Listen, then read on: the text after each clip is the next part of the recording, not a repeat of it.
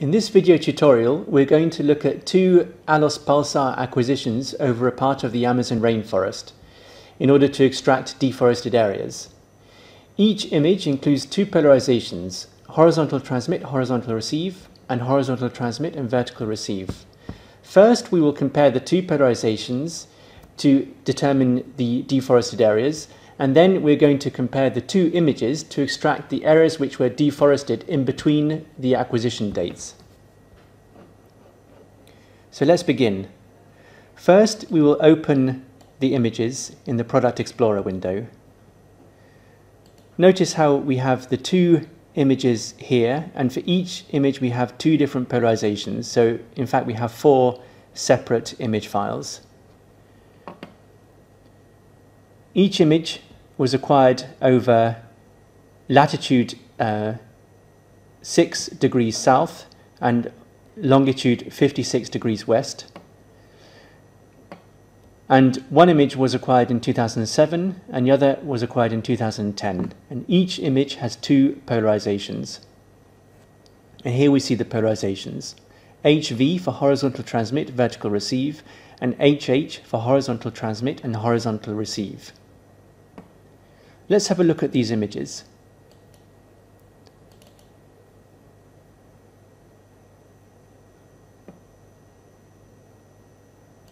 And if we compare the two polarizations from the same date, let's see how they look.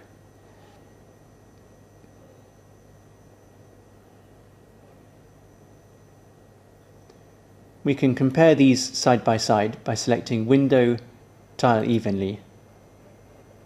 And in the navigation tab, if we, if we ensure that these icons are selected to link the viewers and link the zoom and the, and the mouse icon, then we can scroll and zoom simultaneously. Just by inspecting the images, there does not seem to be a great difference between the HH and the HV. If we want to perform some analysis on these images, it helps to have the two polarizations in the same file. That way we can perform ratios, calculate the difference between the images, and do, more, do further analysis. To, compare, to combine the two polarizations into the same image file, we select raster, geometric operations, collocation. And here we can select the master and the slave image we wish to combine together. So let's begin with the 2007 image.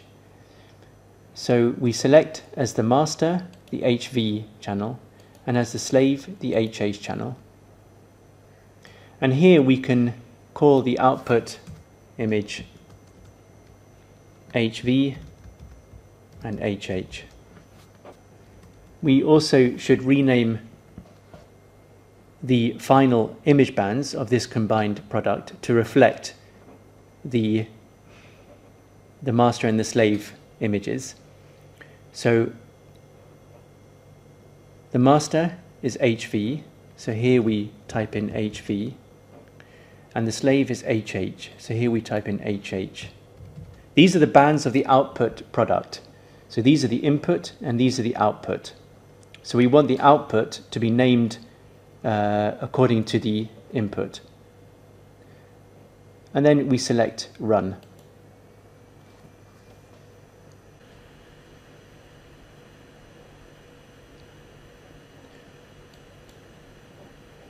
And here we have the combined product. So if we look at the bands of this image, we now see the two polarizations of the same image acquisition date, 2007, in the same image file. Now that these are in the same image file, we can perform calculations on the two bands. For example, if we go to the band maths, we can calculate the ratio. We can create a new band, we can call it HH over HV, I avoid using the forward slash symbol here because the forward slash is one of the characters you cannot use in the naming of new bands. Then if we deselect virtual, then we will write the band to a file. And if we click on edit expression, here we can type out our expression. So HH divided by HV and OK. And if we click on OK again, then here we have our ratio. And from the ratio, we can see more clearly the difference between the HH and the HV. We can go further and create an RGB composite of the HH, HV and the ratio between the two. So if we close all the existing image windows and click on select the name of the file in the Product Explorer window, then go to Window, Open RGB Image Window, then here we can select HH, HV and the ratio as blue.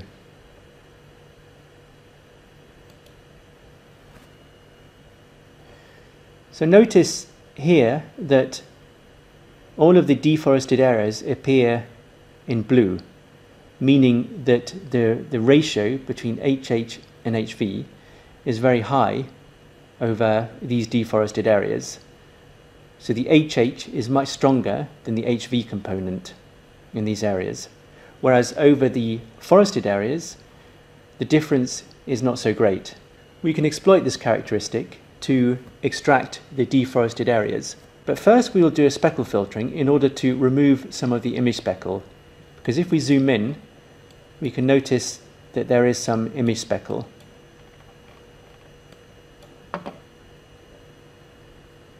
If we select radar, speckle filtering and single product speckle filter, here we can select a speckle filter to apply.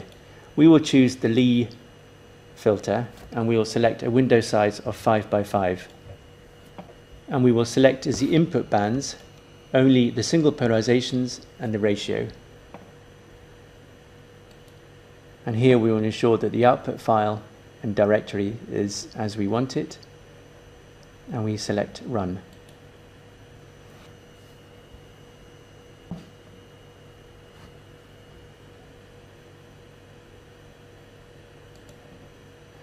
We can now compare the speckle filtered product and the non-speckle filtered product. So if we open the same RGB combination of this speckle filtered product, we can compare them. So here we select HH as red, HV as green, and the ratio is blue. The reason why we select HV as green is because over vegetation you have a lot of volume scattering and where you have volume scattering, you, you tend to have a depolarization of the signal. And a depolarization of the signal corresponds to a high return in the cross pol. And given that vegetation tends to be green, it's intuitive to assign the HV channel to green. Now we select OK. And here we have the speckle filtered RGB composite. We can view these side by side by selecting Window, tile horizontally. And here we can see the difference between the speckle filtered and non-speckle filtered product. Notice how much of the speckle has been removed in the Lee filtered image.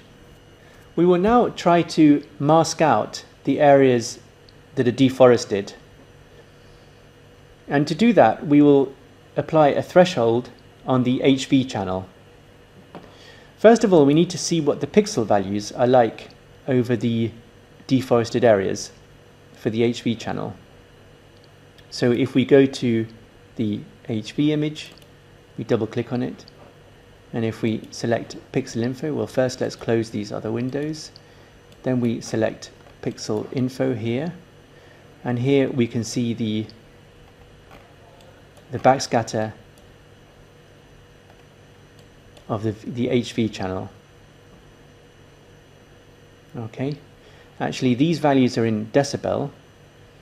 Uh, this image has already been calibrated and converted to decibel prior to the exercise. And here we can see that over the over the, the deforested areas, we have values of less than 20 dB. And over the forested areas, we have values of around minus 10, 11, 12, 13 dB. So perhaps a suitable threshold in between the deforested areas and the forested areas is around minus 15 dB. So what we will now do, we'll go back to the Product Explorer window, select our input image, and we will go to the band maths and create a, a mask including only values which are below minus 15 dB. And we'll call this deforestation mask.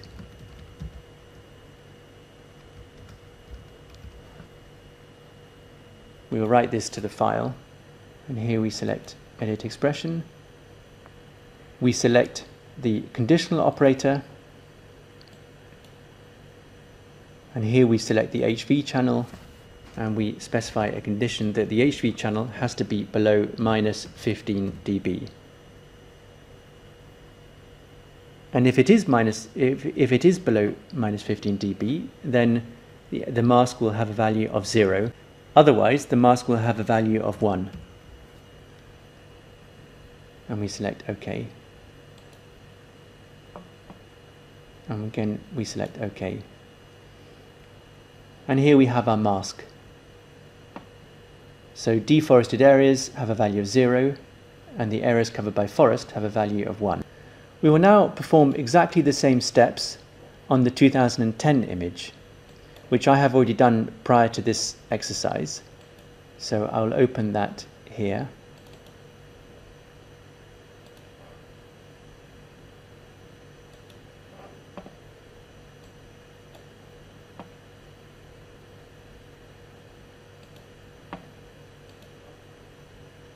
and we will compare the image from 2010 with the image from 2007 to see the extent of deforestation. To do this, first we need to combine the two images. So we go to, again, to raster, geometric operations, collocation. And here we input the 2007 image as the master and the 2010 image as the slave. We will write a suitable output file name, so we'll call this 2007 and 2010. And here we will rename the output master and slave to reflect the input. So here we will call this 2007 and we will call the slave 2010. This is just the suffix at the end of the original file name. And we will select run.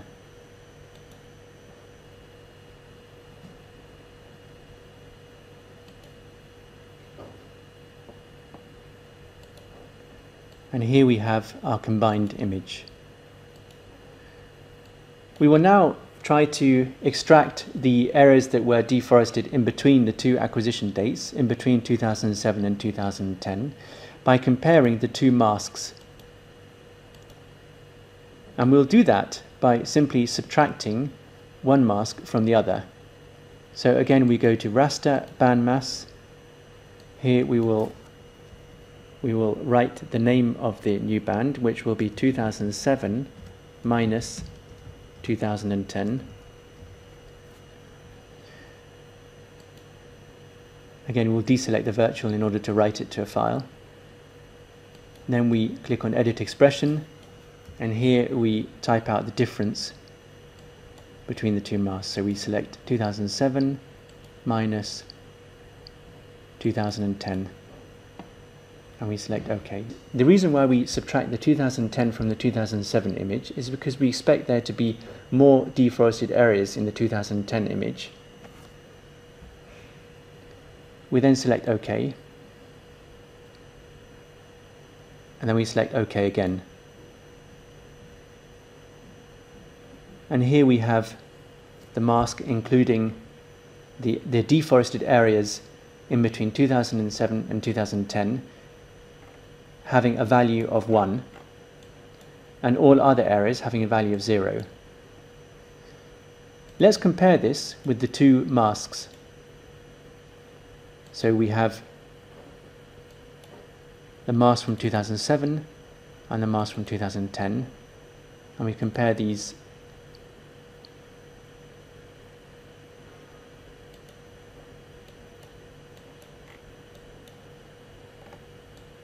So notice that in each mask we have deforested areas, but we also have areas that do not correspond to forest, such as the river.